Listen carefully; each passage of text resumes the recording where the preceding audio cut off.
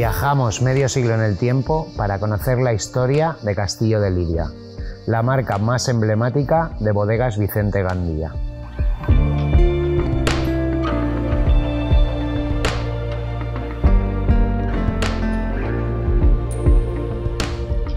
La historia de, Vicente Gandía eh, comenzó en 1865. Eh, ahora mis hijos forman parte de la cuarta generación, lo cual en una empresa familiar es un milagro. Y la fundó mi abuelo eh, en esa época, que procedía del pueblo de Agullent. Él era peón de... en el campo, lo cual en aquella época debía ser muy duro y muy mal pagado. Entonces emigró a Valencia y empezó a trabajar en una casa de vinos y allí eh, aprendió el, oficio y fundó la, bodega. Y, mi padre estudió eh, medicina, pero tuvo la mala suerte que pilló la gripe, la mal llamada gripe española, porque hubo, parece ser que en Europa, 40 o 50 millones de muertos. Y llamó por teléfono, eso me lo contaba mi, padre, a su padre diciendo, me retiro de la, de la, de la, carrera de medicina, yo que no puedo ver más muertos, me voy al vino.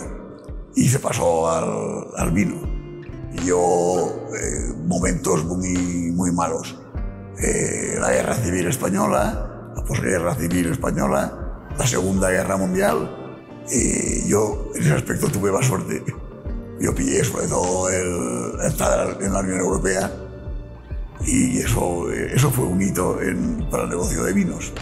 Eh, yo veía que en aquella época solamente exportábamos nosotros y nuestros colegas de valencianos eh, vino a granel. Y entonces yo pensé que sería mucho mejor sacar vino embotellado. Cuando yo hablé con mi padre para sacar un vino embotellado, que fue el castillo de Lidia, pues mi padre se opuso y me dijo estas palabras que las recuerdo. ¿Estás loco, José María?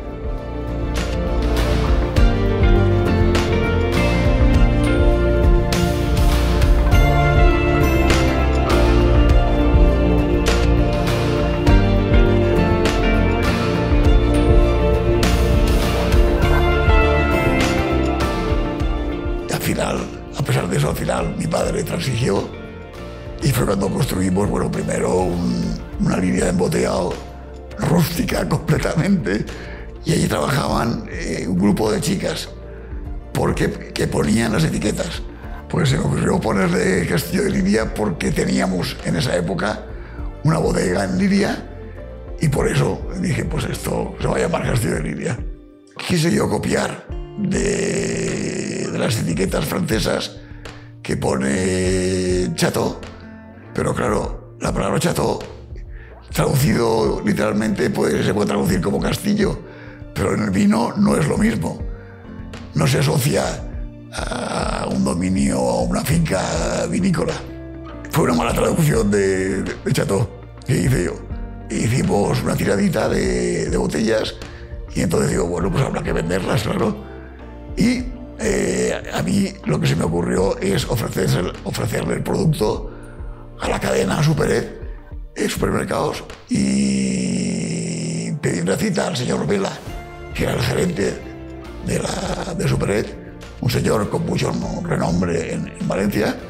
Cogí una botella y me fui como si me quisiera comer el mundo eh, para empezar las ventas a Superet le puse la botella encima de la mesa y dice el artículo, mira este vino, le hemos sacado, bla, bla, bla, bla, bla.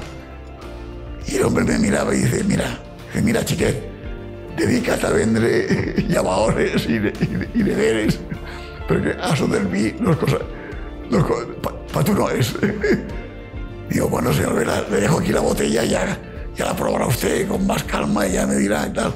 Dice, no, no, llévate, llévate la botella que no, no la quiero ver aquí y salí como un gusano con la botella en la mano, retando con la botellita.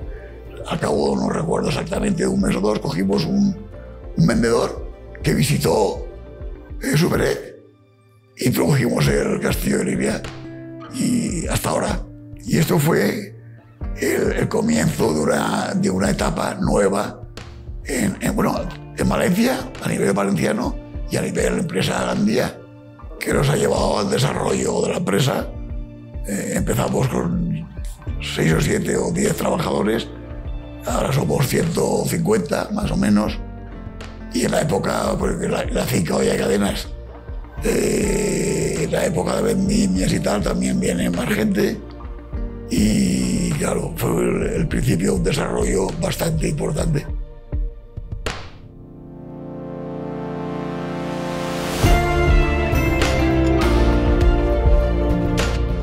En 2021, Castillo de Liria cumple 50 años. Como ha dicho mi padre, ha sido una marca pionera, no solamente para Vicente Gandía, sino para todo el sector vinícola valenciano y un referente de la viticultura valenciana. Eh, gracias al éxito de Castillo de Liria, nuestra compañía eh, posteriormente ha ido lanzando proyectos de, gran éxito, como Olla de Cadenas, en nuestra finca vinícola de Utiel Requena, y luego eh, una presencia en 90 países, somos una de las compañías que a nivel internacional eh, goza de más prestigio y tenemos un proyecto de viticultura eh, muy desarrollado, de sostenibilidad, de innovación. Somos una empresa presente en, nueve denominaciones de origen y que actuamos de embajadores del vino valenciano en el mundo, porque para nosotros el origen y, Valencia es muy importante, no solamente la cultura, pero a nivel enológico intentamos que, la, empresa eh, haga de embajador de, nuestros vinos.